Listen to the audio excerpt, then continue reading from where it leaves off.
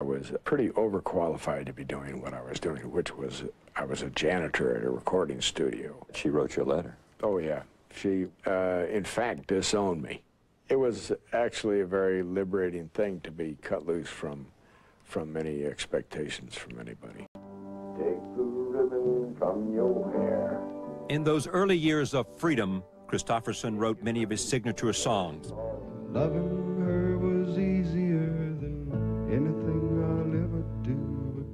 Songs that became classics in the country music world. Sunday morning, coming down.